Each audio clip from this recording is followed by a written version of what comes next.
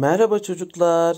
Bugün sizlerle zamanı ölçme ile ilgili bir test ve alıştırma çözeceğiz çocuklar. Bunun içerisinde problemler de olacak. Bu konuyu zaten biliyoruz. Ne kadar çok test yaparsak, ne kadar çok alıştırma yaparsak bizim için o kadar iyi değil mi çocuklar? Hazırsanız hemen testimize başlayalım. Yukarıdaki saatte 3'ün üzerinde olan kolun ismi nedir çocuklar?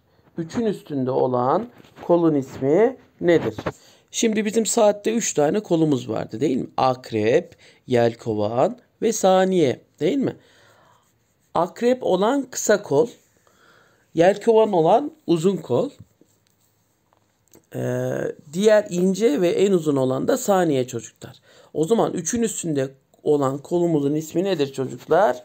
Akreptir değil mi? O zaman doğru cevabımız C seçeneğidir. Devam ediyoruz. Saat üzerinde kalın ve kısa olan kolun adı nedir? En kısa ve en kalın olan kolun ismi akreptir çocuklar. Bize saati gösterir. Diğeri yelkovandır. Bize dakikayı gösterir. Saniyeler ise saniyeyi gösterir. Bir dakika içerisinde 60 kere tık tık tık tık diye atar. O zaman kalın ve kısa olan kolon ismi akreptir çocuklar. Devam ediyoruz. Saat üzerinde en hızlı dönen kol neyi göstermektedir? Saat üzerinde çocuklar en hızlı dönen kol saniyedir. Bir dakikada 60 kere tık tık tık tık diye atar ve bir dakikayı tamamlar. Yani bir dakika 60 saniyedir. O zaman sorumuzun cevabı B seçeneği. Hangisi zamanı göstermez? Hangisi zamanı göstermez? Çocuklar zamanı saatle ölçeriz değil mi? Hepimizin bildiği üzere. Bakın masa saati zamanı gösterir mi çocuklar? Evet masamızın üstünde duran minik saatlerdir. Hatta siz onları çalar saat olarak da belki bilebilirsiniz. Duvar saati duvarımızda asıl, asıl olan saatlerdir. Sınıfımızda, okulumuzda, evimizde değil mi? Duvar saati de yine aynı şekilde e, zamanı gösterir. Peki metre nedir çocuklar? Metre uzunlukları ölçmeye yarayan e, bir alettir çocuklar. Alırız onunla bir şeyin uzunluğunu ölçeceksek metreyle ölçeriz. Mesela sizin boyunuzu neyle ölçüyoruz çocuklar? Metreyle ölçüyoruz değil mi? Boyunuz ne çıkıyor? İşte 1 metre 35 santimetre. 1 metre 45 santimetre. Basketbolcular vardır mesela. Onların boyları en aşağı 2 metredir çocuklar. 2 metre 10 santim. 2 metre 20 santim. Değil mi? Metrede demek ki uzunluğu ölçüyormuş çocuklar. O zaman doğru cevabımız C seçeneği çocuklar. Devam ediyoruz. Aşağıdaki saatlerden hangisi öğleden sonraki zamanı gösterir?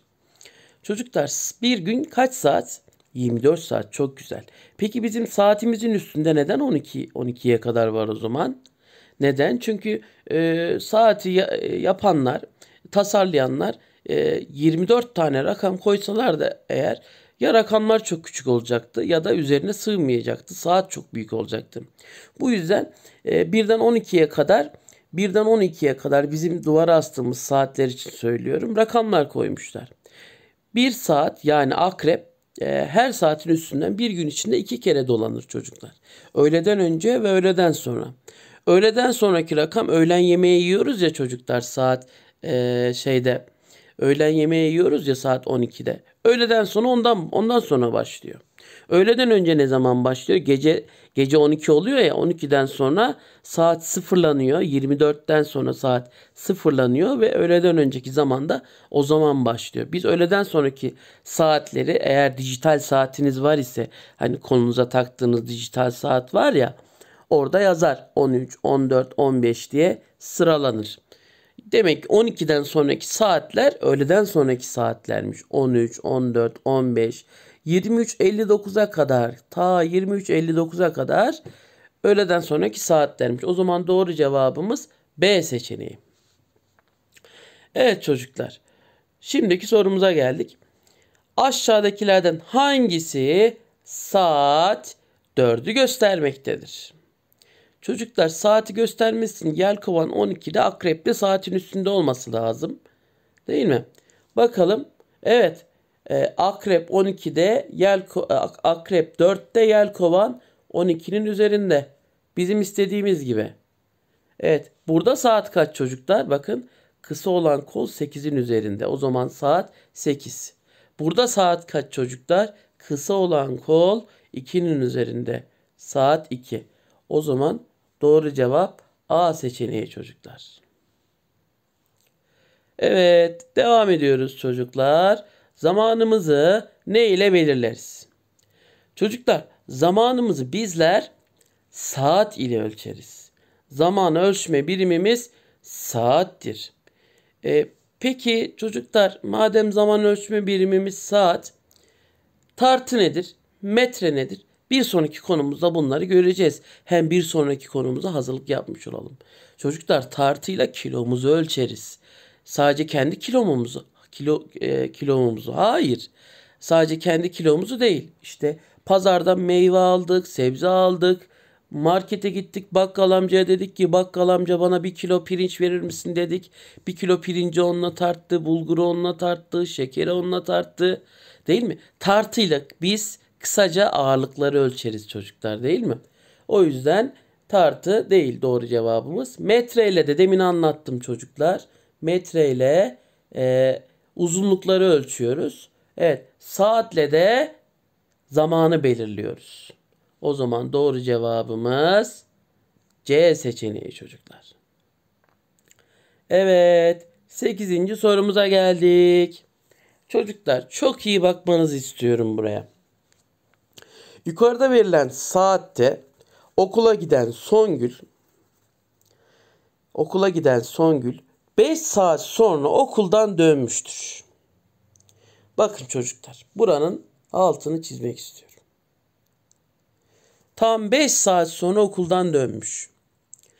Songül okuldan saat kaçta dönmüştür? Çocuklar Songül okula saat kaçta gidiyormuş çocuklar? Okula saat 7'de gidiyormuş değil mi? Saat 7'de okula gidiyormuş değil mi? Görüyoruz akrep 7'de yelkovan e, 12'de yani saat tam 7'de. 5 saat sonra okuldan dönmüş çocuklar. 5 saat sonra okuldan dönmüş. Yani biz burada toplama yaparak bulacağız çocuklar. Evet. 7'de gidiyormuş. 5'te 5 saat sonra dönmüş. Yani 7'ye 5'e ekleyeceğiz çocuklar değil mi? Yani 7'ye 5'i ekleyeceğiz. 7'ye hemen 5'i ekliyorum çocuklar. 7 5 daha kaç eder? Size toplama işleminde bunu anlatmıştım. Hemen bazılarını zihinden bile bulmuş olabilir. 7 5 daha kaç eder çocuklar? 7 5 daha 12 eder. Ne yapıyorum? 7'yi aklımda tutuyorum. Aklımın içine koyuyorum. 5 parmağımı açıyorum. Üstüne 5 tane sayıyorum. 8, 9, 10, 11, 12. Demek ki Songül okuldan eve 12'de dönüyormuş. O halde doğru cevabımız 12 çocuklar. Aferin size. Yani B seçeneğiymiş doğru cevabımız. Bakın bir şaşırtmaca sorusu. Dün günlerden perşembe ise yarın günlerden nedir? Şimdi dün günlerden perşembe ise çocuklar bugün günlerden nedir? Yani bugünden bir önceki gün e, yani perşembeymiş. Bugün o zaman perşembeden bir sonraki gün değil mi çocuklar? Perşembeden bir sonraki gün hangisi? Hemen aklıma gelmiyorsa en baştan itibaren sayıyorum. Pazartesiden itibaren. Pazartesi, salı, çarşamba, perşembe yani dün. Dün. Cuma. O zaman bugün cumaymış. Önce bugünü buluyorum. Bugün cuma çocuklar. Bugün cuma. Dün neydi çocuklar? Perşembe.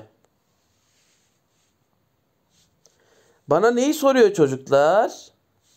Bana neyi soruyor çocuklar? Bana yarını soruyor. Bakın problemleri anlamada problemleri anlamada e, soruyu anlamak çok önemli. Bakın hemen perşembeyi dün olarak düşündüm ve bugünü buldum. Bugünden sonraki gün nedir çocuklar? Aklıma gelmedi değil mi? En baştan sayıyorum. Pazartesi, salı, çarşamba, perşembe, cuma, cumartesi. Değil mi çocuklar? O zaman bugünden sonraki gün yani yarın cumartesidir. Doğru cevap B seçeneğidir çocuklar. Anladınız mı? Dün perşembe ise bugün cuma, yarın cumartesi. Devam ediyorum şimdi. Evet, zamanı ölçme konusunda bu konuyu görmüştük. Size takvimleri anlatırken takvimleri anlatma videomuz var sayfamızda. Oraya dönüp takvimlerle ilgili bölümü tekrar ettiğinizde bu konuyu çok daha iyi anlayacaksınız çocuklar. Anlamadıysanız tekrar tekrar izleyebilirsiniz. Bir yılda kaç hafta vardır? Bir yılda 12 hafta var mıdır? Hayır. Bir yılda 12 ay vardır çocuklar. Hafta yoktur. Bir yılda 12 ay var çocuklar. Hafta yok. Peki 42 bir yılla alakalı bir rakam mı? Hayır. Bir yılda 52 hafta vardır çocuklar. Bir yılda 52 hafta vardır. 12 ay vardır. Peki size bir soru. Bir yıl kaç gündür? 365 gündür. Demek ki şöylece sıralarsak 1 yıl 12 ay, 52 hafta, 365 gün. Evet eski konumuzu da hatırladığımıza göre sorumuzun doğru cevabını işaretliyorum. Bir sonraki dersimizde görüşmek üzere çocuklar. Sizleri çok seviyorum.